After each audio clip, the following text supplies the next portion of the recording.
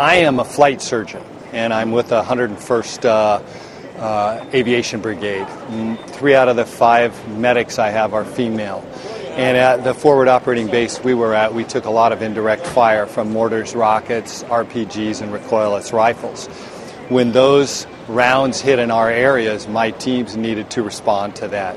And those females responded every bit as good, if not better, than the average medic did.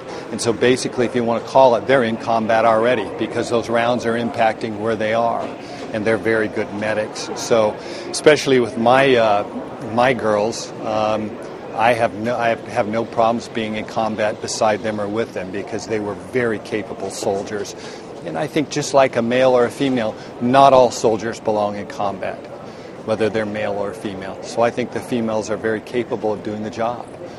Well, um, I just got back from Afghanistan and worked with many women in a combat zone. Um, they were not in combat roles, and they were as good as any soldier in, in the theater. So, so I'm very positive with that. And uh, as far as women in combat roles, that's a, it's going to be a controversial uh, subject.